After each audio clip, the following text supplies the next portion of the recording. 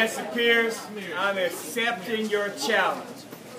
And I challenge all middle school principals, all other middle school principals, and anyone that has worked at a school that I've worked at. Vigor, Murphy, Mae Eanes, Booker and my wonderful faculty here at Mobile County Training Middle School.